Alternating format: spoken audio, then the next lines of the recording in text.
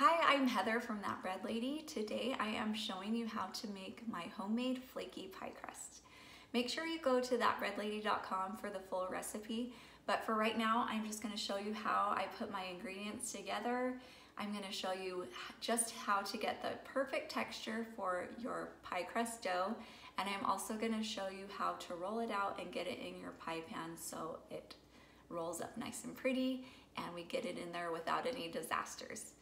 Um, we're gonna go ahead and get started and I have just a few things that I wanna point out to you, something that's really important about pie crust. When we're working with pie crust dough, we wanna use really cold ingredients. So if you're using butter and shortening, you wanna make sure that those are cold when you're adding them into your mixture. I like to put my butter in the freezer for about an hour or two before I use it. I also keep my shortening in the refrigerator for about an hour before I add it to my dough. Um, I'm also gonna be using ice water and I have just filled up a bowl with um, some ice water here and I'm gonna be using that to add to my dough. The reason why you want to use cold ingredients for pie crust is because it's gonna prevent those fats from melting when you're doing the mix, when you're doing all the mixing, when you're handling the dough. And the reason you don't want those to melt is because when we can keep those fats in little bits and pieces, when it bakes up in the oven, it's going to release air and it's going to make your pie crust a lot flakier. So make sure that you are using cold ingredients for your pie crust. Um, let's go ahead and get started. So in this bowl, I already have my flour and my salt mixed together and I just tossed those around um, so that they're gonna get nice and, and incorporated when I add my butter and my shortening. And as you can see, I have my butter all cubed up and it is nice and cold. And I've got my shortening over here as well. So there's a lot of different pie crust recipes out there. Some of them use all butter, some of them use all shortening, and some of them use half and half. I like to use half and half because shortening has a higher melting point. So when we're adding a little bit of shortening into the pie crust dough, it's going to make your pie crust more um, capable of shaping, keeping its shape in the oven. It's gonna be a lot easier to work with and it's going to stay beautiful as it bakes in the oven. Um, I, I don't want to use all shortening because I love the flavor that butter adds. So that's why I like to do half and half. Um, at this point, I like to cut my butter and my shortening into my flour mixture. And this is called um, a pastry blender or a pastry cutter. This is super great for mixing butters into flours or shortening. And as you can see, it just kind of cuts it into the flour. If you have a, um, a food processor, you could definitely do this, this step in the food processor. Um, what we're looking for right now is we're looking to get all those pieces of butter and shortening coated with the flour and we're gonna break it up into smaller pieces so that we're gonna get those, those little uh, coarse crumbs of butter and shortening in our flour. They're gonna be, a lot of times you hear people say they need to be pea sized, so you don't want super big chunks, but it's okay if you have a few big chunks of, of, flour, of shortening or butter in there, that's okay.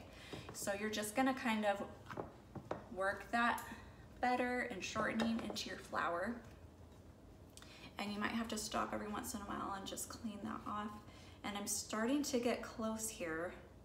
Once I feel like I have all the big chunks broken up and I have all those pieces of shortening and butter coated in flour, um, then I'm gonna be adding my ice water. And I think I'm just about there. So let me show you what this looks like if you can't see it from there. So as you can see, it's a coarse crumb texture. And I'm going to grab my measuring cup. Now this is a half a cup, And this is approximately how much water I'm gonna be adding total. I'm gonna dip this into my ice water and I'm just gonna drizzle maybe a tablespoon or two at a time over my, over my mixture here. And with my spatula, I'm just gonna kind of fold it, fold it over and try and incorporate the water. And I'm gonna keep doing that gradually until I get it to the right consistency. So this is where it gets really tricky. Well, what is the right consistency for your pie crust? So we wanna make sure that all of the, the flour is, is absorbed into that water. Um, a, a pie crust that, ha that doesn't have enough water added to it it's gonna be really hard to roll out. It's gonna crack, it's gonna flake, it's not gonna hold its shape when you're rolling it out. Um, also, a pie crust that has too much water, you're gonna have to add flour to that and that is gonna make your pie crust a little tough. So you wanna just get it to the point to where all that flour is soaked up and you could easily press it into a disc with your fingers without it being a total mess. I get all the water incorporated pretty much into the bowl. When I'm when I'm super close, then I'll turn it out onto the countertop and I'll, I'll finish it up uh, mixing it by hand and get all that flour. And then that way I can feel the dough and see what it feels like. Um, so I've had to add a little bit more water. And everybody's gonna kind of be different at that, at that point. Um, just, I just use a half a cup as kind of a guide of how much water I need to add. And now you can see it's starting to, it's starting to ball up. It's starting to, to take like one big shape all together. I'm gonna add a little bit more water and stir it up.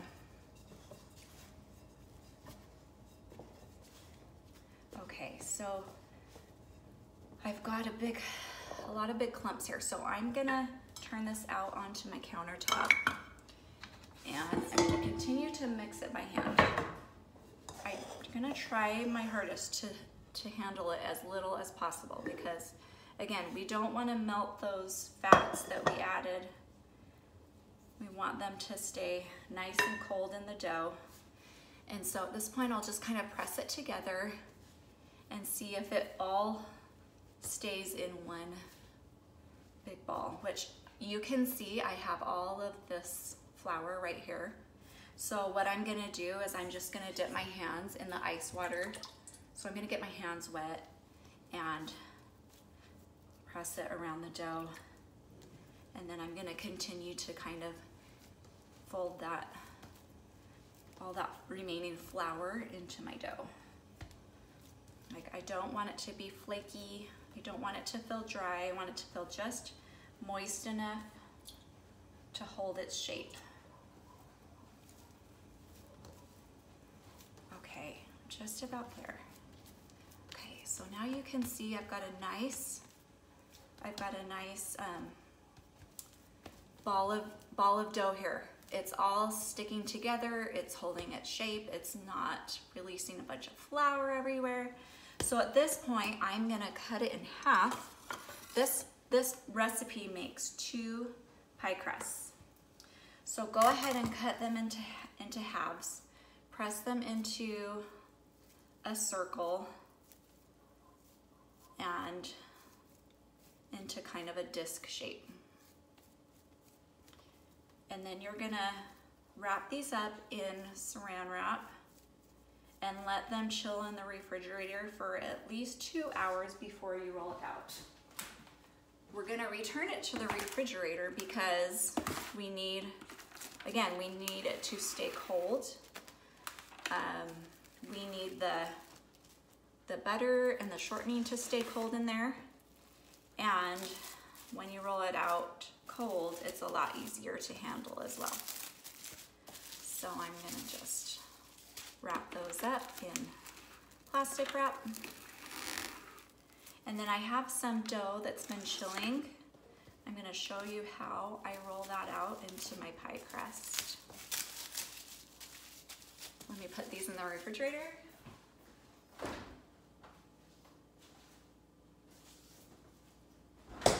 And voila, I have one that's already been chilling.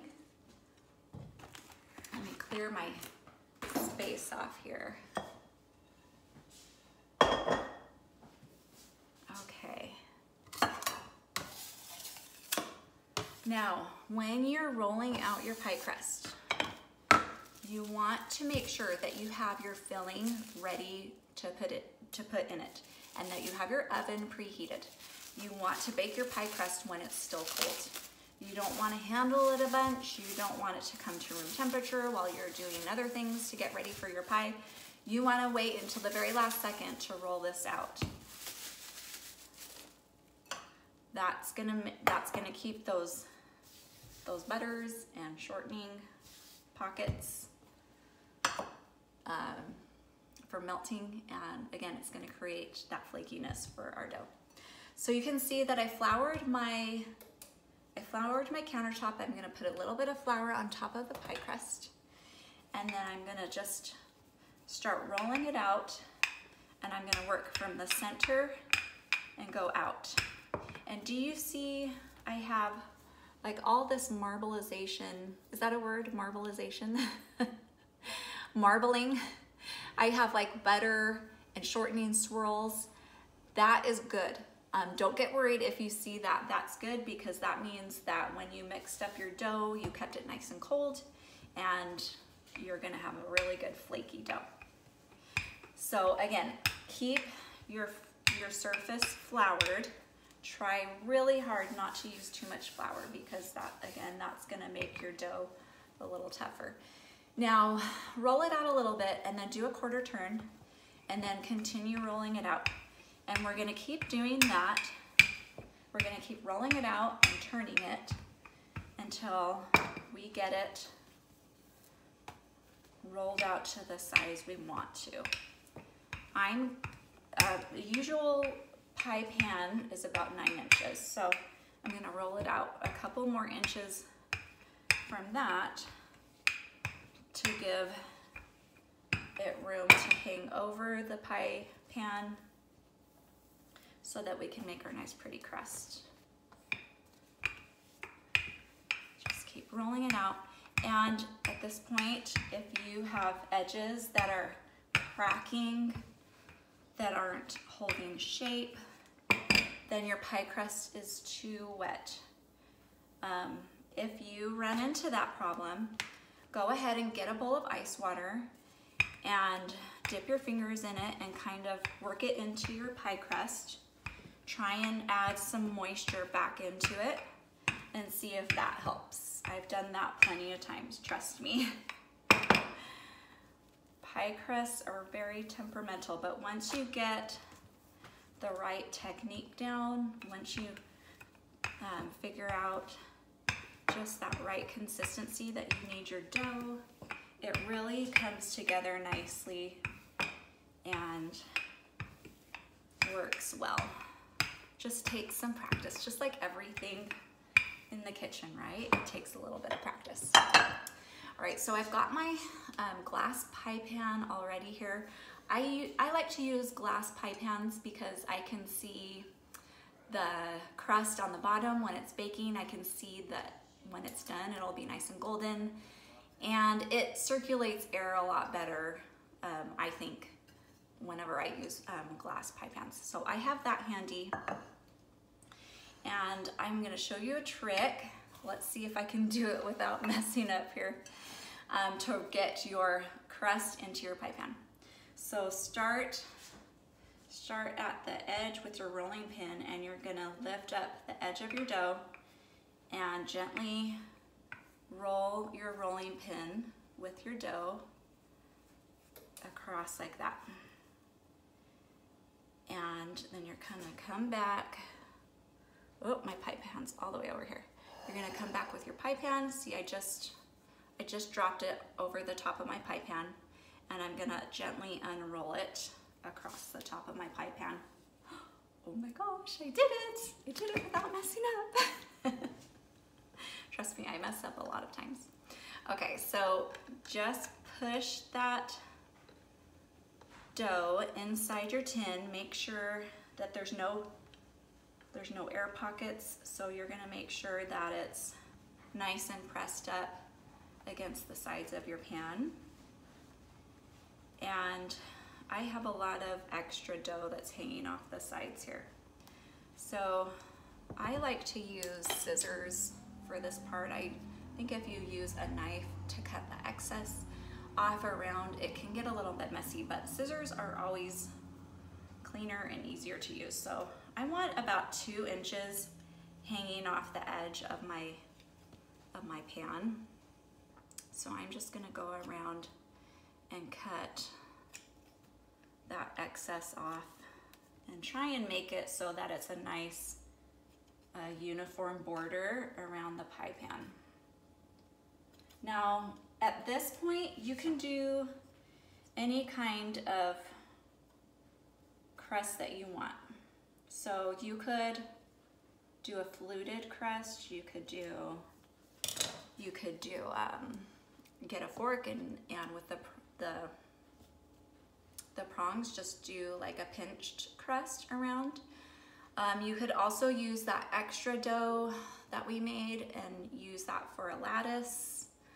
I'm gonna show you how to do a fluted crust and maybe I'll show you how to do a little crimped. I think that basically it's self-explanatory, but so when we're doing a fluted crust, you're gonna use one finger and from you're gonna use one of your hands, just use your pointer finger, and then with your other hand, you're gonna squeeze you're gonna squeeze the dough up around that finger. So do you see that? Let's see if I can get you guys to get a better view of this. So we're just pinching it along the edge of the pie pan.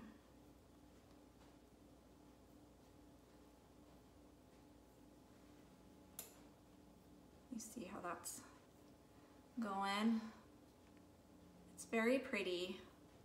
Um, you wanna make sure that you have a good border of dough though around your pie pan because if you don't have like say if you got your dough into your pan and your your dough is just like right at the edge grab some of your extra dough and just press it in so that you make, can make sure that you have enough of that extra dough around the edge to make a design. Um, let me grab a fork and I'll show you another another, this is probably the easiest border that you could do and you would need less dough around the edge for this. You would want it just right on the, on the rim of your pie pan. But you just go ahead and grab a fork and you're just gonna crimp it. You're gonna crimp those edges just like that. See, isn't that super easy? You see that? That's super easy. That's probably the easiest border that you could do. So um, that is my homemade flaky pie crust. Um, remember, if you're gonna be using this for a shell, let's say you're gonna be doing a banana cream pie, which I'm gonna be making for Thanksgiving, um, and you just wanna bake the, the um, pie shell, um, you would go ahead and grab your fork and just make some holes all around your pie, your pie crust, on the bottom and on the sides.